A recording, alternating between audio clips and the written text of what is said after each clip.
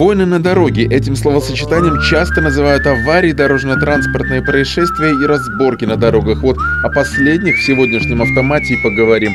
Пристегнитесь, это не для слабонервных. Итак, поехали. Очередной пример выяснения отношений при помощи кулаков был зафиксирован на камеру видеорегистратора в Минске. В этой ситуации вспоминается басня слон и моська, и даже если хозяин красной машины прав, то попробуй еще докажи.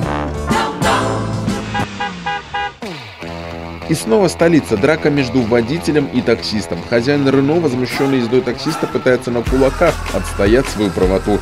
В бой без правил оба водителя ожесточенно отстаивают свое мнение.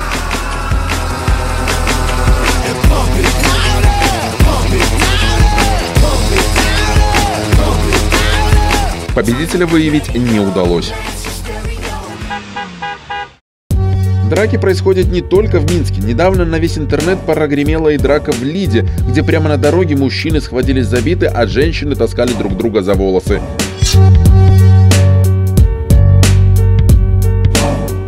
А еще боремся за почетное звание дорог высокой культуры. Стыдно! Ну а теперь настоящая корида. Интеллигентный тореадор в очках сразу же пропускает удар от настоящего быка.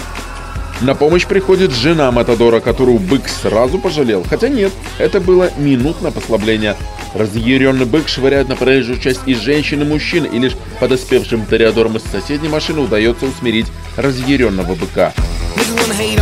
Ужас. Присылайте свои дорожные истории в рубрику «Автоматы не деритесь». Наш адрес рубрика «Автомат» собака тут.бай.